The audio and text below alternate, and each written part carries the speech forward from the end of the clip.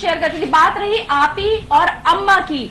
हमें यहाँ पे शिजान के या शफक के जितने भी जानने वाले हैं दोस्त हैं वो इनके कॉन्टेक्स्ट में हमें आपी और अम्मा बोलते हैं। हम हैं आपी और अम्मा। हम जब किसी सपोज़ मैं किसी किसी और अदर कास्ट के फ्रेंड के घर पे जा रही हूँ माई फ्रेंड इज़ हिंदू और मैं उसकी मासी से मिलती हूँ मैं उनको ऑटोमेटिकली मासी मासी ही ही बोलूँगी। इट इज़ वेरी ऑब्वियस आप लोगों के भी फ्रेंड्स होंगे आप लोग जैसा कि आप सब जानते हो, तुनिशा शर्मा केस में हर रोज़ न्यू न्यू ट्विस्ट सामने आ रहे हैं। और अब शिजान खान की सिस्टर पहली बार सामने आई हैं। शिजान खान की सिस्टर फलक नाज और शफकत नाज ने पहली बार अपना रिएक्शन दिया है।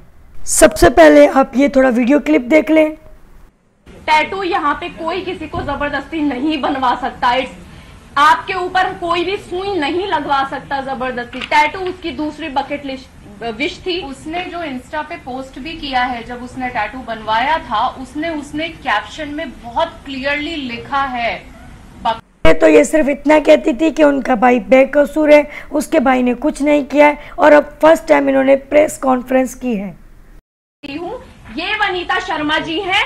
यहाँ पे नीचे संजीव कौशल का कुत्ता है जिसकी 20 दिन पहले डेथ हुई है और ये जर्मन शेफर्ड चंडीगढ़ का कुत्ता है। ये फ़ोटो संजीव कौशल के घर का है, जो मुझे टुनिशा ने भेजा था।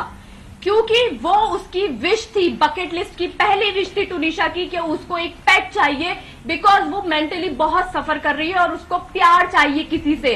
वो एक डॉग लेना चाहती थी और ये उसने तब मुझे इस तरह से तुनिशा की मदर हर रोज़ प्रेस कॉन्फ्रेंस कर रही हैं और आरोप लगा रही हैं शहजान खान पर।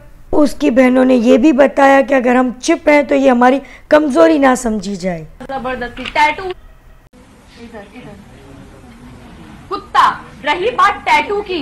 टैटू यहाँ पे कोई किसी को ज़बरदस्ती नहीं बनवा सकता। इट्स आपके ऊपर कोई भी सुई नहीं लगवा सकता ज़बरदस्ती। टैटू उसकी दूसरी बकेट लिस्ट विश थी। उसने जो इंस्टा पे पोस्ट भी किया है जब उसने टैटू बनवाया था उसने उसने कैप्शन में बहुत क्लियरली लिखा है। Bucket list and done exactly मैं मैं उसके लिए वो थी जो उसकी बकेट लिस्ट क्लियर करवा रही थी, क्योंकि वो आप ही से सब कुछ शेयर करती थी, वो अम्मा से सब कुछ शेयर करती थी। बात रही आप ही और अम्मा की।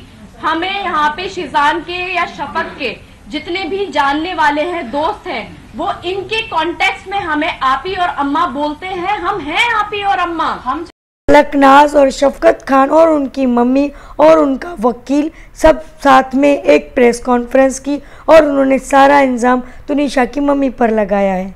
फलक नाज और शफकत नाज ने बताया कि तुनिशा काम नहीं करना चाहती थी, लेकिन उसकी मम्मी उसे किस तरह से काम पर ज़बरदस्ती भेजती थी? और उन्होंने ये भी बताया कि उनकी मम्मी ने कुछ सॉन्ग भी साइन करवाए हुए थे, लेकिन तुनिशा वो सॉन्ग नहीं करना चाहती थी। और उन्होंने बताया कि 4 जनवरी तुनिशा का बर्थडे था और हम उसे एक सरप्राइज़ पार्टी प्लान कर रहे थे।